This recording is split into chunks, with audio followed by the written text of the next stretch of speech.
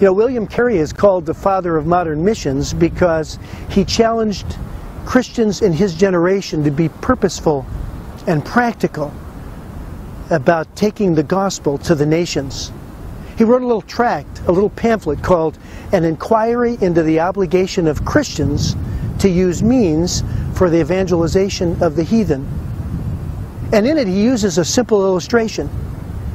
In his day, Hudson's Bay Company, the British East India Company, and others were leveraging resources, taking risks, strategizing, planning, and investing large amounts of money and time in order to find commodities to reap an earthly profit by bringing them back to Europe. And he said, How much more should we, as Jesus Church, commanded to take the gospel to the nations, how much more should we leverage resources and take risks and be intentional and plan and strategize in order to see a harvest of people, people from every tongue, tribe, people, and nations coming to the gospel and coming to Christ. So, reminding you this morning that the call is still there for you and I, for His church of today, to leverage, to plan, to dream, to be purposeful and practical in taking the gospel to the nations.